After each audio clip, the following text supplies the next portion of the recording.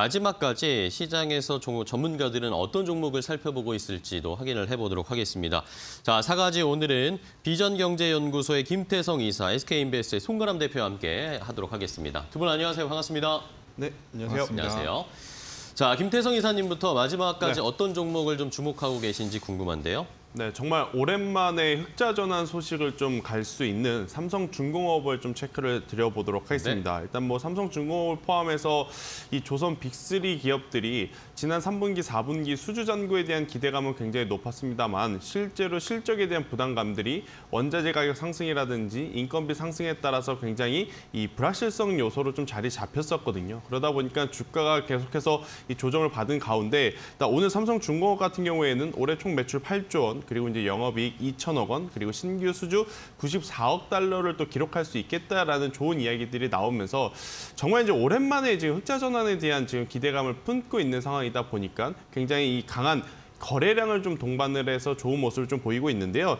올해 수주 95억 달러 중에 지금 조선이 약 64억 달러를 좀 차지하고 있다라고 좀 나오고 있고 또 해양은 31억 달러를 지금 차지하고 있다 이렇게 좀 보여지고 있는데 이렇게 된다라고 한다면 충분히 여기에 이 LNG 발주까지 그러니까 LNG 선의 수주 잔고까지 합했을 때는 또 역대 최대 또 매출을 기록할 수 있는 그런 모멘텀이 어, 지금은 나올 수 있기 때문에 삼성중공업 같은 경우에는 오늘 굉장히 또 강한 모습을 보여, 보여주지 않았나라는 생각이 드는데요. 일단 조선 같은 경우에는 경기 민감주 중에 하나이기 때문에 많은 분들이 좀 고민을 하실 겁니다. 지금 경기의 침체에 대한 우려감도 있는 가운데 조선주들 현재 구간에서 공격적으로 좀 트레이딩해도 괜찮을까에 대한 좀 고민을 많이 하실 것 같은데 저는 삼성중공업 같은 경우에는 단순히 테마적으로 기대감이 오른 것이 아니고요. 눈에 보이는 실적을 확인하면서 올랐기 때문에 오늘의 상승세를 조금은 이용해서 어, 단기적으로 한번 움직임, 변동성을 노리는 단기 trading을 해봐도 괜찮지 않을까라는 의견 한번 말씀드려보면서요. 삼성중공업을 관심 가져주면서 저는 이 조선 기자재까지도 한번 관심 있게 보자라는 의견 추가 코멘트 드려보도록 하겠습니다. 네, 알겠습니다.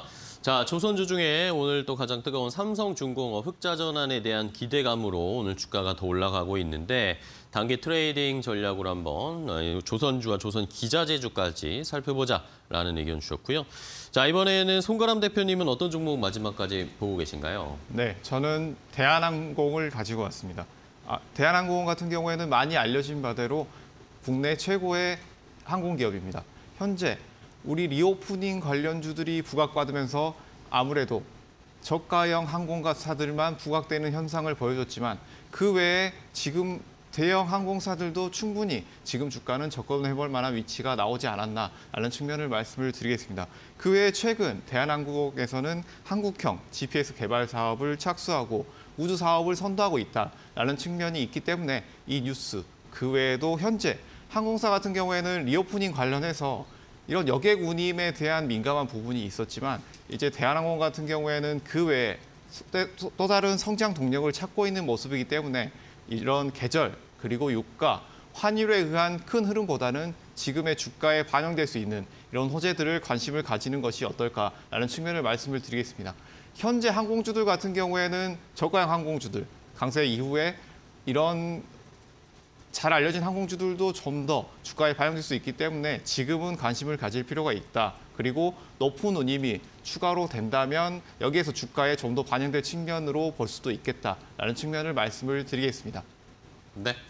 자, 대한항공 함께 확인을 해봤고요. 자, 이번에 김태성 이사님이 한 종목 더 어떤 종목 보시는지 알려주시죠. 네, 일단 뭐 최근에 또 가장 강한 테마가 크게 세 가지가 있는 것 같아요. 네. 인공지능 혹은 로봇 혹은 여기에 비대면 의료라든지 뭐 비대면 원격 교육 이쪽인 것 네네. 같은데 저는 이제 비대면 의료 쪽에 이지케어텍을 한번 우리가 지금 위치에서도 관심을 좀 가져봐야 되지 않을까라는 생각이 듭니다.